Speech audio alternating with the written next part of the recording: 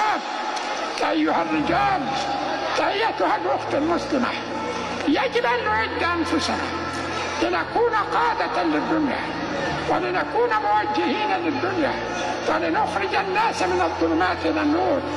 يجب أن نعد أنفسنا بالإيمان بحفظ كتاب الله بالتمسك برسالة الله.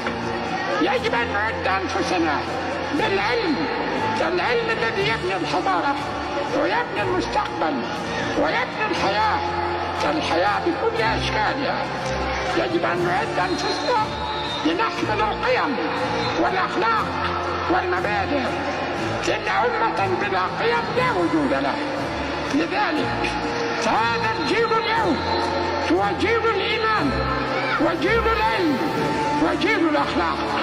وبه سينتصر شعبنا إن شاء الله. وبه سيتم تحرير فلسطين تحرير القدس تحرير يافا وحيفا وعكا. كل فلسطين أرض إسلامية. إنها أرض الإسراء والمعراج. إنها وقت إسلامي. لا يملك جيل ولا ملك ولا رئيس أن يتنازل عنها. فهي لأجيال المسلمين. إلى يوم القيامة والمعركة مستمرة والصراع مستمر والله وعدنا بالنصر والتمكين.